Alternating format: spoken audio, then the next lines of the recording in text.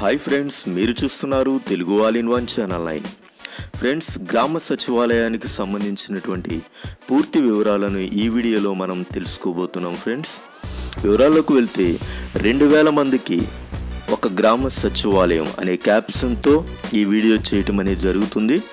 అయితే మనకి సాక్షి న్యూస్లో ఇచ్చినటువంటి ఇన్ఫర్మేషన్లో హెడ్లైన్స్ను ముందుగా తెలుసుకుని పూర్తి వివరాలను మనం తెలుసుకోవడానికి ప్రయత్నం చేద్దాం ఫ్రెండ్స్ ఇందులో భాగంగా రాష్ట్ర వ్యాప్తంగా పన్నెండు వేల నుండి పదమూడు వేల వరకు గ్రామ సచివాలయాలు ఏర్పాటు. డిజిటల్ ల్యాండ్ సర్వే విద్యా అసిస్టెంట్లు కూడా. ప్రస్తుత సర్వీస్ రూల్స్ ప్రకారం కొత్తగా రిక్రూట్మెంట్.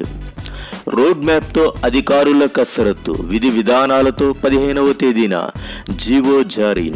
జిల్లా సెలక్షన్ కమిటీ ద్వారా నియామకాలు. సెప్టెంబర్ ఇరవై కల్లా ఫర్నిచర్ సామాగ్రితో గ్రామ సచివాలయ కార్యాలయాలు సిద్ధం. రాష్ట్రంలో ప్రతి రెండు వేల మంది జనాభాకు ఒక గ్రామ సచివాలయం ఏర్పాటు చేసి తీరాల్సిందేనని ఇందులో రాజీ పడేది లేదని ముఖ్యమంత్రి వైఎస్ జగన్మోహన్ రెడ్డి అధికారులకు స్పష్టం చేశారు. దీనివల్ల ప్రభుత్వ సేవలు అది ప్రజలకు మరింత చేరువలో ఉంటాయన్నారు.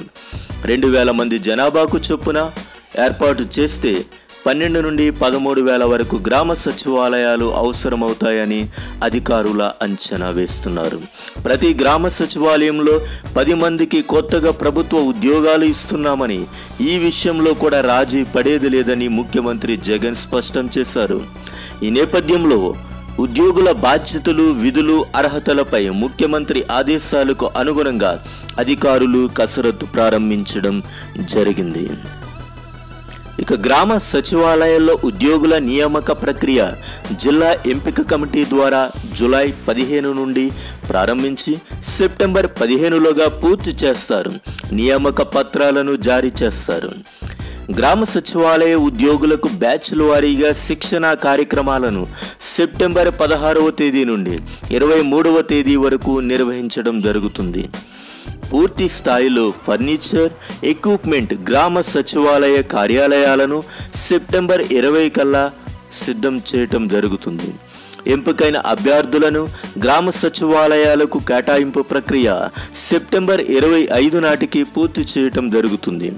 అక్టోబర్ రెండవ తేదీ నుండి గ్రామ సచివాలయాల పూర్తి స్థాయిలో పనిచేయడం ప్రారంభిస్తామని రాష్ట్ర ప్రభుత్వం తెలియచేయటం జరిగింది.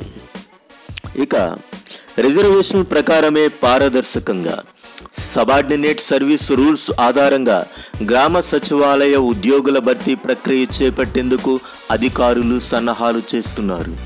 ప్రస్తుత అమల్లో ఉన్న రిజర్వేషన్లను పాటిస్తూ పూర్తి స్థాయిలో పారదర్శకంగా జిల్లా ఎంపిక కమిటీ ద్వారా రిక్రూట్మెంట్ ప్రక్రియ చేపట్టి రాత పరీక్ష నిర్వహించనున్నారు.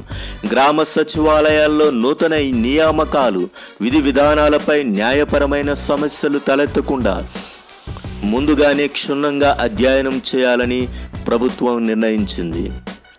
న్యాయపరమైన అంశాల అధ్యయనం పూర్తి కాగానే విధి విధానాలు అర్హతల విషయాల్లో ఈ నెల పదిహేనవ తేదీన జీవో జారీ చేయనున్నారు. ఇక ప్రతి గ్రామ సచివాలయంలోనూ మహిళా పోలీస్. ప్రతి గ్రామ సచివాలయంలో ఒక మహిళా పోలీసును నియమించాలని రాష్ట్ర ప్రభుత్వం నిర్ణయించింది. Digital assistant land survey assistant సంక్షేమ అసిస్టెంట్ విద్యా అసిస్టెంట్ను కూడా నియమించనున్నారు. గ్రామ సచివాలయంలో నియామకాలకు సంబంధించి అధికారులు ఇప్పటికే రోడ్ మ్యాప్ రూపొందించారు. గ్రామ సచివాలయ కార్యాలయాల్లో పూర్తి స్థాయిలో ఫర్నిచర్ ఎక్విప్మెంట్ ముందే సిద్ధం చేసి అక్టోబర్ రెండవ తేదీ నుండి పూర్తి స్థాయిలో పనిచేసేలా చర్యలు చేపట్టాలని సీఎం వైఎస్ జగన్ ఆదేశించడంతో అందుకు అనుగుణంగా రోడ్ మ్యాప్ కూడా సిద్ధమైంది. ఇది ఫ్రెండ్స్ ఈ వీడియో కనుక మీకు నచ్చినట్లయితే లైక్ చేయండి షేర్ చేయండి. మరిన్ని వివరాలు మీకోసం తీసుకొస్తాను.